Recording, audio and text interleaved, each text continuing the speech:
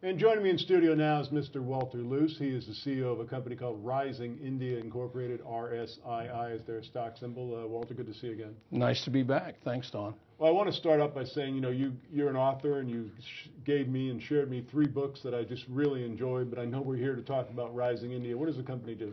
Uh, we are builders or developers of independent living, assisted living attached to a memory center.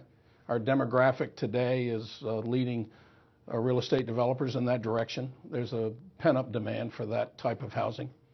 Well, now you have a project in the Coachella Valley of California. It's called Hidden Hills. I think it's about 160 acres, and that's an assisted living uh, development. How's that coming along? That's uh, we're in entitlement phases, coming along well. We're working with the Bureau of Land Management, uh, and we have a solar farm that uh, we're developing there.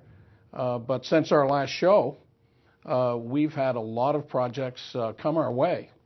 we're looking into a couple of new areas one in Vegas, Las Vegas, mm-hmm. uh, one in Payson, Arizona. Really?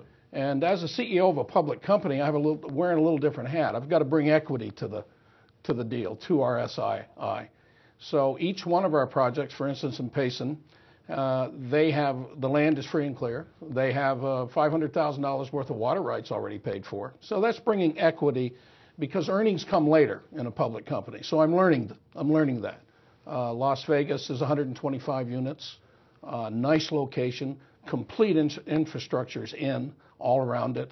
Uh, so we're looking for value and to bring equity to RSII so that future earnings will come fast. And I think it's important to point out to our audience that you have been a real estate developer for most of your adult life, and so you're still wearing that hat, but you're, as you said, becoming accustomed to wearing the CEO hat as well. Yeah, it's it's fascinating. It's kind of like writing a novel. uh, I'm educating myself in that regard, but I think the shareholder is the most important vehicle that we need. And if I can show them that we have equity coming in on the front end, they're going to see the earnings coming out the other end. And that's what I'm trying to do for uh, SII. That's what I will do for RSII. Now, with respect to the uh, the project in the Coachella Valley, you mentioned you're in the uh, entitlement phase. I mean, what has to occur before you can start saying, "Hey, we're ready to break ground"? Uh, we have to we have to go an environmental study, biology studies, uh, desert tortoise, pocket mouse, to name a few, uh, the uh, fringe-toed lizard.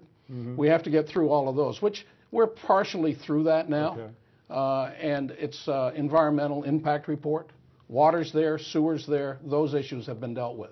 Okay, once again, the company is Rising India Incorporated. RSII is their stock symbol. A great update, Walter. Thanks so much. Thank you, Don, and Merry Christmas. You too. Thanks.